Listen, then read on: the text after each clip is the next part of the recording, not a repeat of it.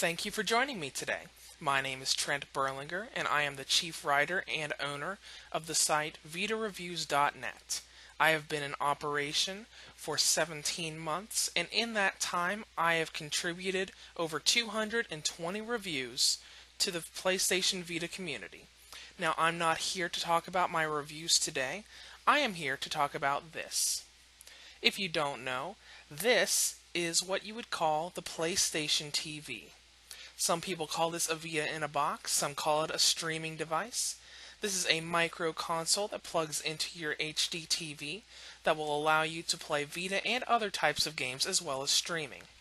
Now, on the back of this, it has a slot for a memory card for the PS Vita, a USB cord, an HDMI port, and an Ethernet port. And up here, there is a slot to put in retail Vita cartridges. Now, a lot of sites think that all the PlayStation TV can do is stream games.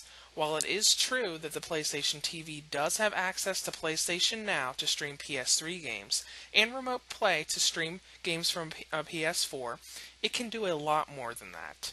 The PlayStation TV can play retail and digital PlayStation Vita games, such as imports, like the Japanese Phantasy Star Nova or the Asia release of Sword Art Online Hollow Fragment, or it can play localized releases like Persona 4 Golden. Now, it can play a lot of digital titles as well, such as digital PSP games, PlayStation 1 games, and PlayStation Mini games. There is a lot it can do, and there's a lot of controversy over the PlayStation TV, especially regarding compatibility. When it released in the West last October, there were a lot of games that it, it, did work on, but there were a lot of games that did not work on the PlayStation TV. Now, a lot of people think this compatibility hasn't changed at all since October. However, if you look on my site, on the main header, there is a link that says PlayStation TV Game List. I maintain a constantly updated list for North America and United States users of every single app and game that works on the PlayStation TV, be it a PS Vita game, PlayStation 1 game, or PSP game. Now, this is updated several times every week. If you think the compatibility is the same as it was in October, you are dead wrong. Every single week, new games come out that are compatible with the PlayStation TV, and new games and older games are updated to work on it. Now, this is what we are here to discuss today. What I am about to show you is a visual video presentation of a lot of different types of games that the PlayStation TV can do.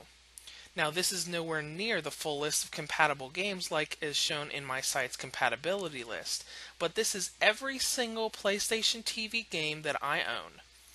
From PlayStation Vita games to PSP games to PS Minis to PlayStation 1 games. I hope you enjoy this list and I hope some of these games can pique your interest.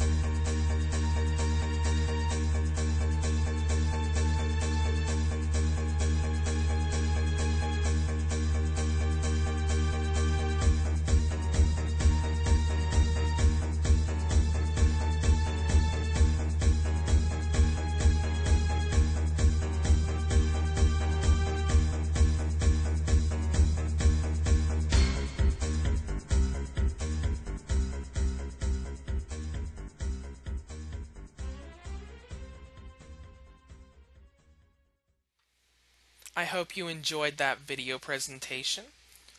Do note that all of the music that you just heard was taken from games that are in this list. The PS Vita music section was taken from Freedom Wars. The music for the PSP section was taken from Ace Combat Joint Assault. And the music for the rest was taken from Final Fantasy VIII.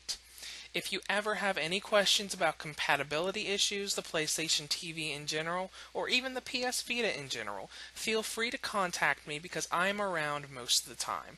You can email me at trent at vitareviews.net. You can contact me on Twitter at twitter.com slash vitareviews, or you can come onto my site or my forum at forum.vitareviews.net. I hope you love this presentation, and I hope this was enlightening for you. Thank you and have a great day.